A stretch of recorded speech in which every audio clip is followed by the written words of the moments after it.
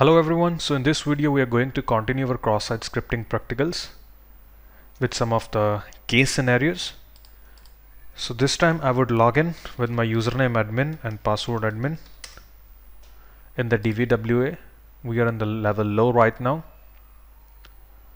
And then I would go to the cross-site scripting stored and this time we are going to steal the cookies of the different users because if we post such type of a script in between the DVWA is stored every time anyone comes up to this page he would see a pop-up of his own cookie. But what I want is that he should not see any pop-up of his own cookie. Whenever he comes up the script would take his cookies and just send to our Kali Linux. So for that one eh, as well we have created a script like this way in which I have just given the IP address of the Kali Linux. So why I am showing you a different case scenario is because cross-site scripting is a very small attack. It's not as big same as, as the SQL injections in which we have covered so many different types of like double query, like blind.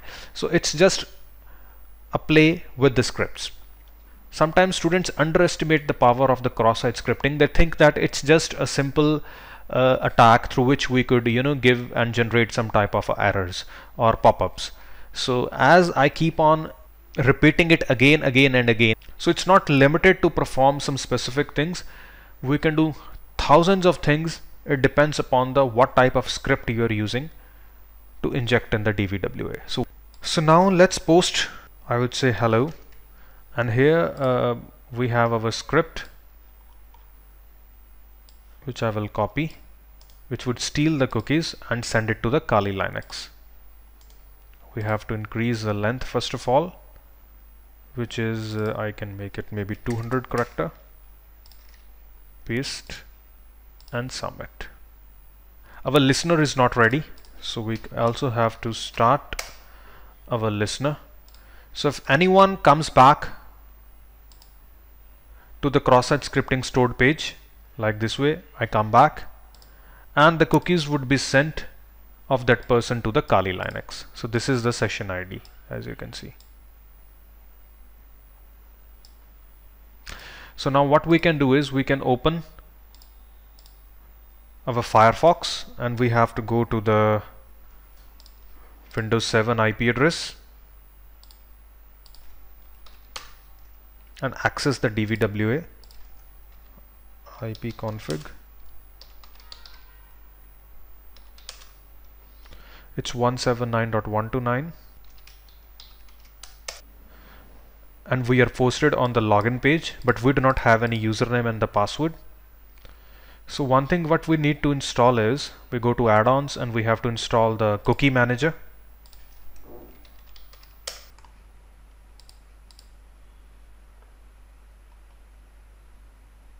head to Firefox. Okay. And the cookie editor is here. So we go to our login page of the DVWA but we do not have a username and password.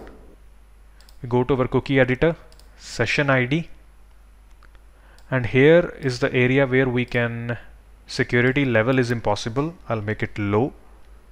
And here I will delete it and copy the cookie.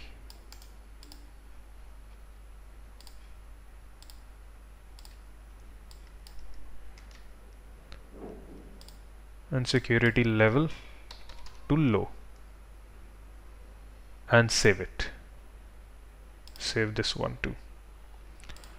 Now you delete the login.php and just up to dvwa press enter and we are logged in as admin.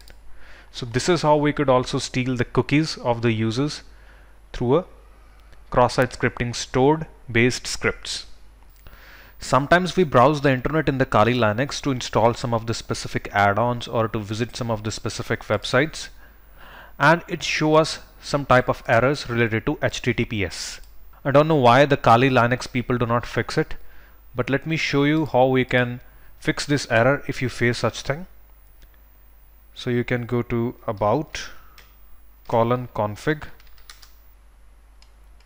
and uh, this is the config area of the Firefox and you have to search for SSL and if you scroll down this would be the thing SSL enable OSCP stepling which is true enabled. I double click and it becomes false. That's it. So now if you go to some specific websites or even with the HTTPS ones there will be no error. You can browse them simply. So I hope you liked this case study with a different script and thank you for watching